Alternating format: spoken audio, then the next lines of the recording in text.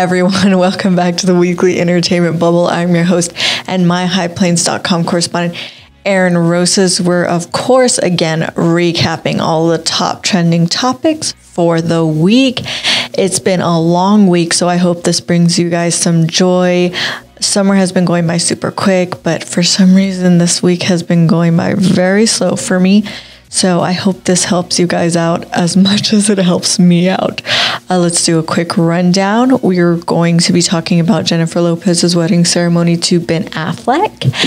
Sylvester Stallone and his wife Jennifer Flavin are set to be divorced. The wife filed, and the top 10 highest grossing rom coms of all time we will discuss. Okay, so let's start out with the big news this gets me excited and also a little repetitive. Feel like I'm talking about them a lot. I really like JLo, but they had their wedding ceremony with all the family and friends.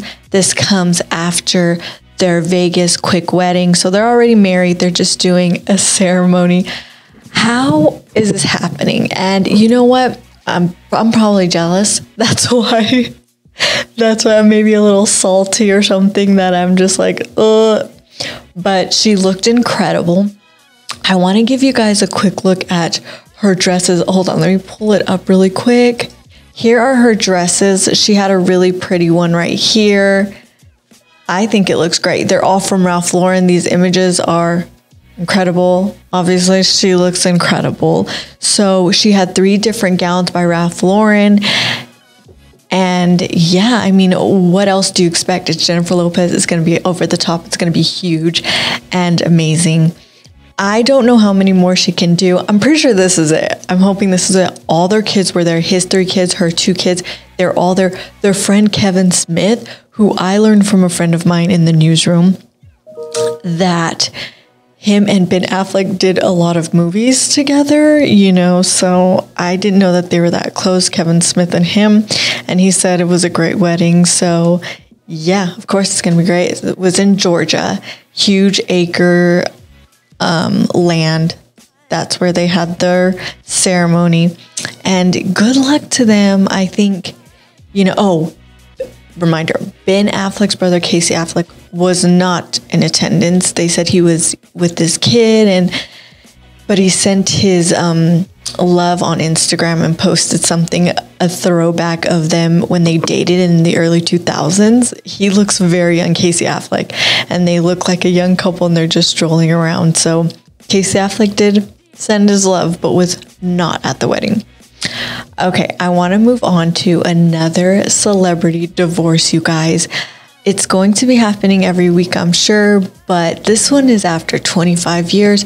Sylvester Stallone and his wife Jennifer Flavin are going to get divorced. That's how it looks right now, anyways, as Jennifer filed for divorce. After 25 years, they have three daughters, and all their daughters are, you know, I would say adults. Their youngest is 20, and then their oldest is 25 and I just did a little research and I found that a couple days ago, so the the divorce was announced yesterday. A couple days ago, he had covered up a tattoo of his wife's face on his arm with their dog.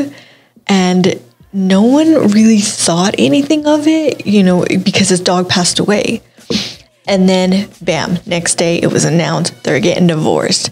And so we should have seen that coming, right? Like all the the nature of the occurrences of events, it just definitely seemed like something was going on. If you cover your wife's face up with a dog tattoo, that that's kind of cringeworthy and sad and um, a lot. But he says it has nothing to do with the dog. They did not. They're not getting divorced because of the dog. But it's kind of crazy that you know that whole cover up situation. Um, they just celebrated their 25th anniversary three about three months ago, and she had posted stuff on Instagram like, "Oh, this is incredible. Our marriage is great. This is the love of my life." And they they marked the milestone 25th, and then yes, they are getting divorced. So sad news for them.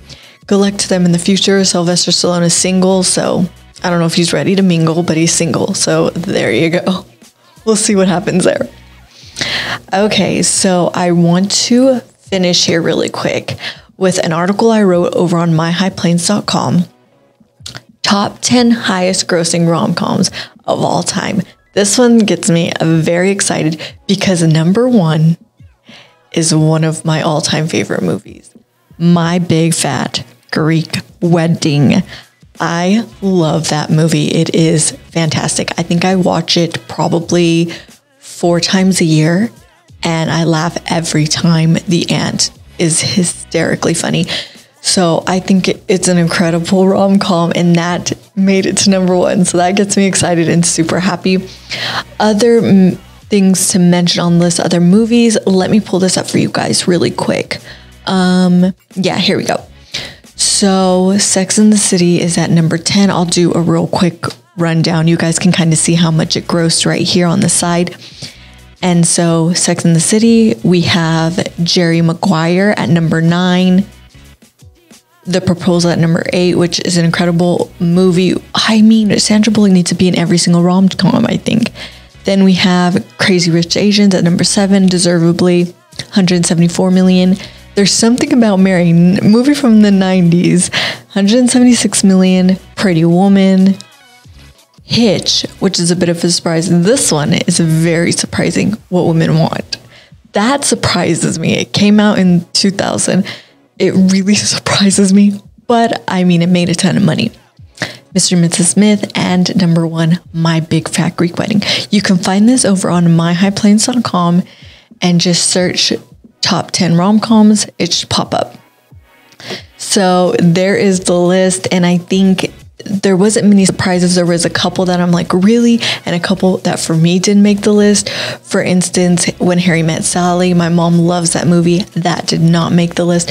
There's a ton of rom coms that people in the news station were saying, why wasn't this one there? 50 First Dates, like a lot of rom coms that did not even I don't think made the top 15. So that's probably where the surprise is at, right? That some of these movies really grossed a lot of money and some of the, a lot of them I didn't even see. People might kill me for this, but I didn't see Crazy Rich Asians, which may surprise some people, but I did not watch it. But I hear it's incredible. I think it said it had a, which one, of these movies had like a 91% rating on Rotten Tomatoes. It did really good. Um, Oh, Crazy Rich Asians had 91% positive rating on Rotten Tomatoes. So good for it. And please, you guys check that out on myhighplains.com. Thank you guys so much for watching this episode. I will see you guys next Friday. Have an incredible weekend. See you guys later.